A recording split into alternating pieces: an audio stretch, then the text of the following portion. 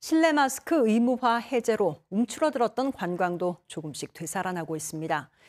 춘천시는 여행사 관계자나 해외 유튜버를 초청해 관광지를 소개하고 새로운 관광 상품 개발에 나서는 등 발빠르게 대처하고 있습니다. 이재경 기자입니다. 국내 여행사 관계자들이 춘천 의암호를 찾았습니다. 카누를 타고 노를 저으며 의암호 물레길을 둘러봅니다. 국내 최장 길이를 자랑하는 사막산 호수 케이블카는 한국관광공사가 선정하는 한국관광 100선에 선정될 정도로 춘천하면 빼놓을 수 없는 관광지입니다. 해외여행이 좀 늘고 있기는 하지만 그래도 국내 수요는 예, 예전보다 많이 나아졌다라고 저희는 판단을 해서 어, 춘천 상품도 지금 많이 취급을 하고 만들려고 하고 있습니다.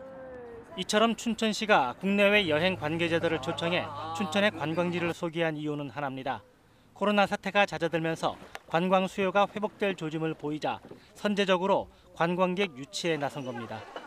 관광객을 위한 직접적인 혜택도 제시했습니다.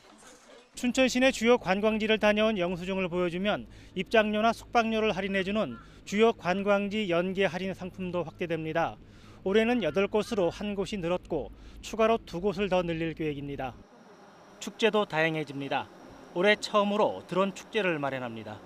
기존의 어린이 장난감 축제는 볼거리와 즐길거리를 다양하게 만듭니다.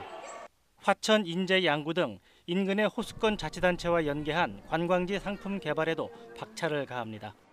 새로운을 추억할 수 있는 그런 기념품을 새로 제작할 수 있게 하고 있고요. 그 단체 대규모를 위해서 우리가 워케이션 사업과 MICE 사업도 추, 추진하고 있습니다.